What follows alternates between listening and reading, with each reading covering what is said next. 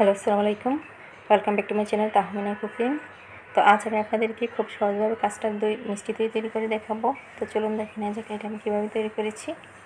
তো ভিডিওটা দেখা শুরু শুরুতে প্লিজ একটা লাইক দিয়ে ভিডিওটা দেখা শুরু করবেন। আর আমার চ্যানেলটা এখনও যারা সাবস্ক্রাইব করেন নাই, প্লিজ সাবস্ক্রাইব করে পাশে থাকা লাইকনে চাপ দিয়ে দেবেন। তাহলে পরবর্তী ভিডিও আপলোড দেওয়ার মতো পেয়ে যাবেন। আর যারা কিন্তু সাবস্ক্রাইব করেছেন, তাদেরকে অসংখ্য অসংখ্য ধন্যবাদ। তো কাস্টার্ড দুধ তৈরি করার জন্য এখানে আমি দুই লিটার দুধ চাল করে, এটা আমি দেড় লিটার করে নিয়েছি আর দুধটা আমি। আগে থেকে চাল করে এটা গরম করে নিয়েছি।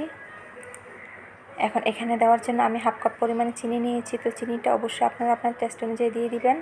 কেউ বেশি মিষ্টি খেতে পছন্দ করে, আবার কেউ কম মিষ্টি খেতে পছন্দ করে। এখানে আমি কাস্টার্ড পাউডার নিয়েছি, তিন টেবিল চামচ পরিমাণে, আর গুঁড়ো দুধ নিয়েছি, তিন টেবিল চামচ পরিমাণে। তো গুঁড়ো দুধ আর কাস্টার্ড পাউডারটা আমি একসাথে একটা বাটিতে নিয়ে নিলাম। নিয়ে এখন এখানে আমি একটু ঠান্ডা দুধ দিয়ে এই কাস্টার্ড পাউডার আর গুঁড়ো দুধটা আমি গুলিয়ে নিব। তো অবশ্যই এটা ঠান্ডা দুধ দিয়ে এই গুঁড়ো দুধ আর কাস্টার্ড পাউডারটা গুলিয়ে নিতে হবে। এটা গরম দুধের মধ্যে দেওয়া যাবে না।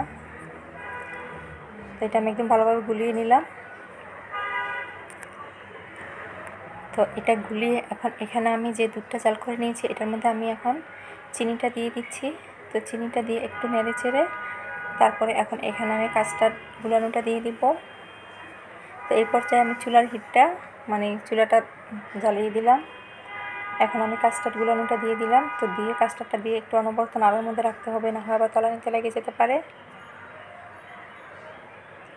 তো কাস্টার্ড পাউডার, গুঁড়ো দুধ আর চিনিটা দেওয়ার পরে এটা আমি আরও পাঁচ থেকে ছয় মিনিট এটা আমি দুধটা জাল করে নিব।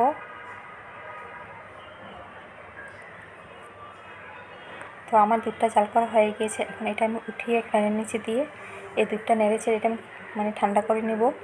তো দুধটা আমি একেবারে ঠান্ডা করব না, একটু হালকা কুসুম অবস্থায় এটাতে আমি দই মিশিয়ে দিব।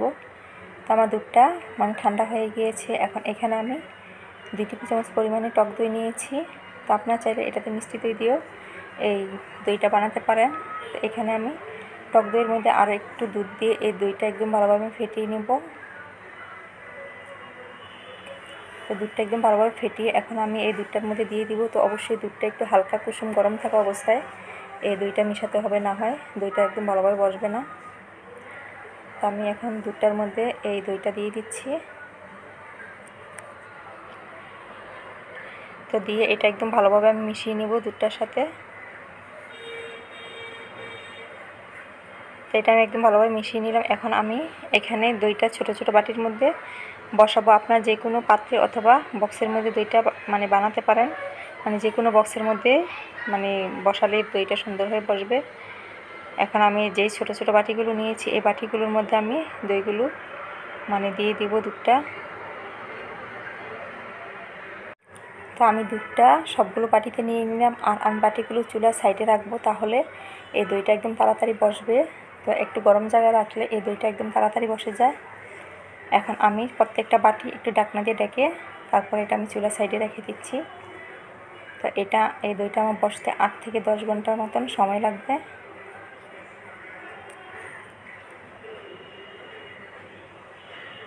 তো আমি সবগুলোর মধ্যে ডাকনা দিয়ে দিলাম। তো আমি আট দশ ঘণ্টা পরে আমি ডাকনাটা উঠে আপনাদেরকে দেখাচ্ছি, আর এর মধ্যে আমার দইটাও হয়ে গিয়েছে।